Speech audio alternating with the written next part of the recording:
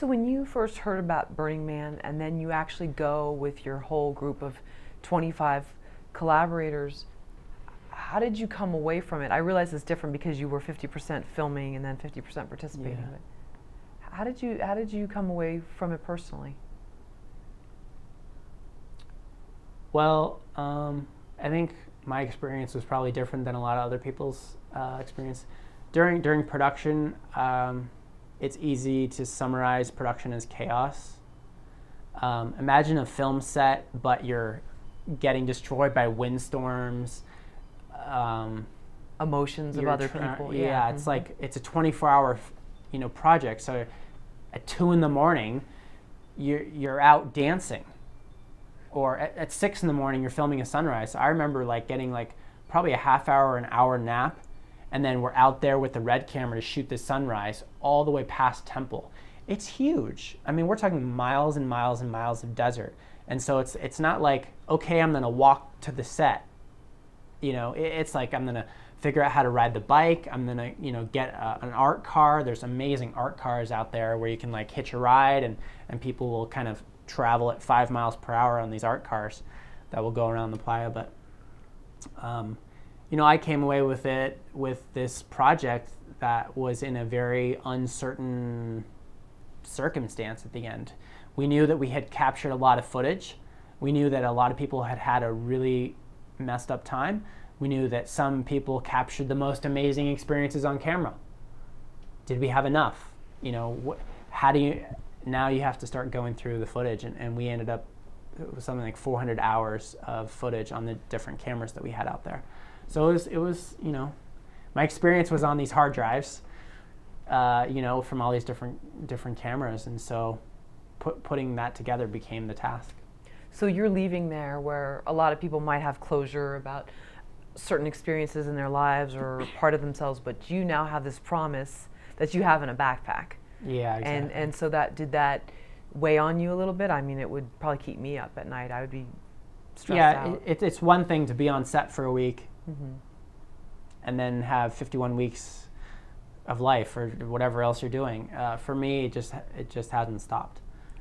It, it's been five years of of getting this film finished, and and for me, because I ended up basically being the editor um, on the project, um, I got to relive the experience every day, all day long, for for months and months and months and months. You know, a week experience, except I got to experience that week.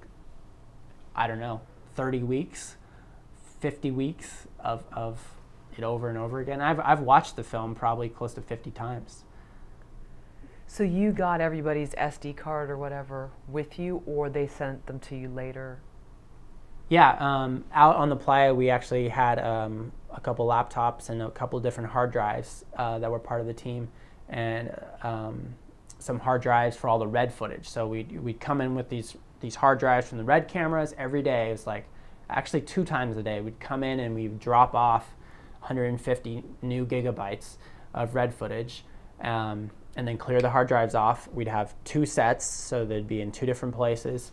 Um, yeah, go back at it. So we had a lot of SD cards, and we didn't have enough because an SD card back then was an hour of footage. You know, and we we shot with these 16 gigabyte SD cards, the newest, the biggest SD cards, the most expensive SD cards, 16 gigabytes, or, or what we had back then. Um, and some of the film was shot at 720p uh, on the small cameras.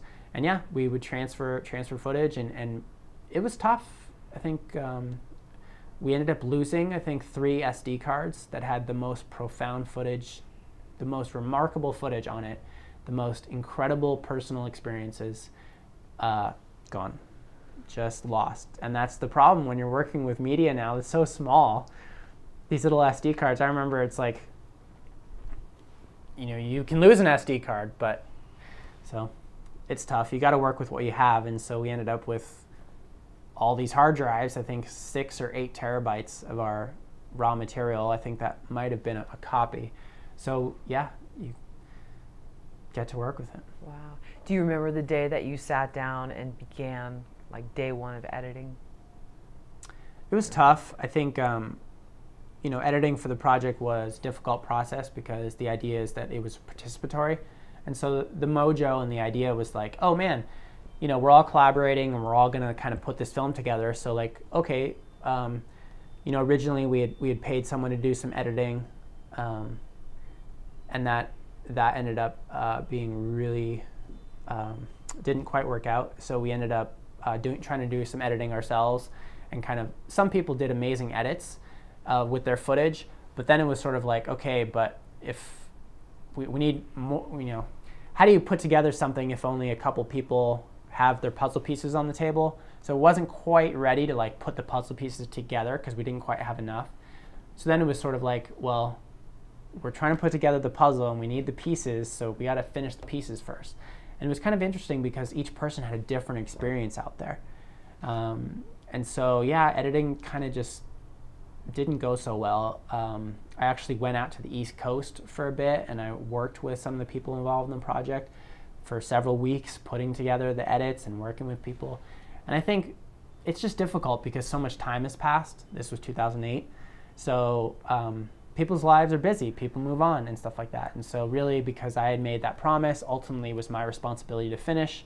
So, ultimately, like, I had to, like, get the film edited, which was a whole different process. Um, but yeah, I, saw, I, I, I, for months, I, I uh, got the edit together and kind of came back, turned off the internet, and started. It was November 2000, um, 2012, 2011. Geez, three or four months solid to get that assembly edit together. And I remember assembly edit was 23 hours, right? So 400 hours down to 23 hours on a, a single timeline, right? 23 hour rough or assembly edit. You're trying to make a 90 minute film. Oh my gosh. So yeah, try to take 23 hours. you already did it from 400 to 23. Now you got to take 23 down to like two or 90 minutes. It's crazy. So yeah, took the assembly edit down to a rough cut in like May 2012, and then um, took the rough cut down to the fine cut down in you know August, and then finally had the final cut. Finally finished 85 minutes.